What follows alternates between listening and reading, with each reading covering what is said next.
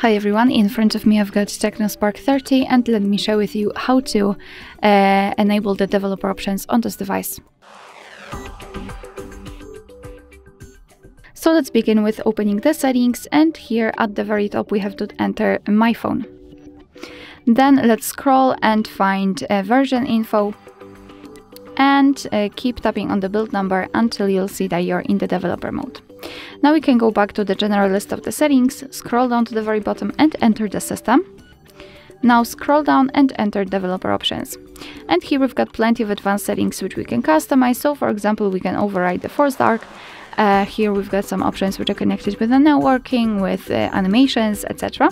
So basically, if you'd like to turn on the feature, simply tap on the switcher on it and it will be immediately activated and applied. Of course, you can turn it off the same way, and if you've got the options without the switcher, just tap on them to open more options to choose from.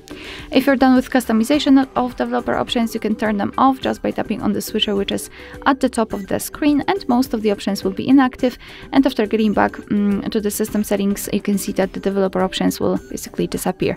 But of course, no worries, you can customize them again, just go back to the build numbers tab and keep tapping.